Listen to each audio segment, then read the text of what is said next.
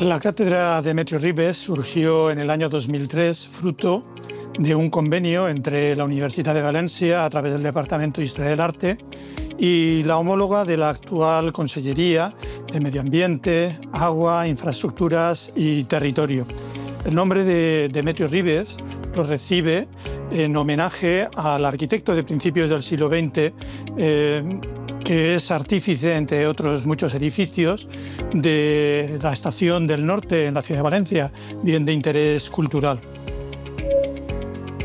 Esta cátedra tiene como principal objetivo la investigación, el fomento de, los estudios sobre la historia del transporte y sus infraestructuras, la obra pública, la ingeniería en la comunidad valenciana.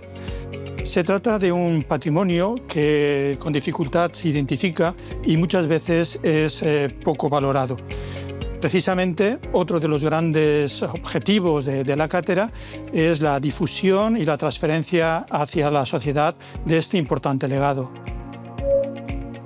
Durante los 20 años de existencia de, la Cátedra de Meteo Ribes, sus actividades son amplias y diversas.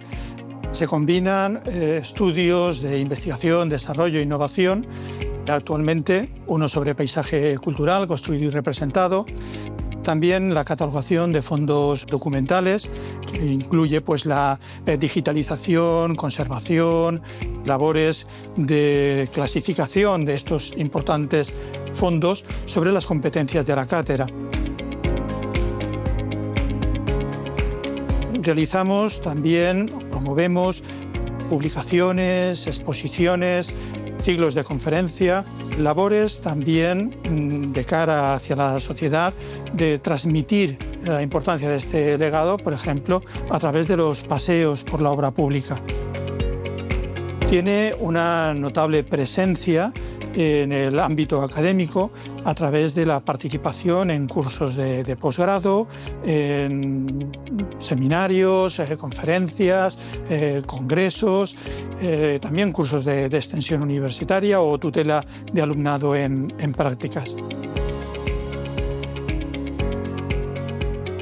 Otras de las actividades que desarrolla es mantener un canal abierto con las instituciones, asesorando en la realización de informes técnicos y convoca anualmente el Premio Nacional de Investigación que lleva el nombre de la propia cátedra, Demetrio Ribes.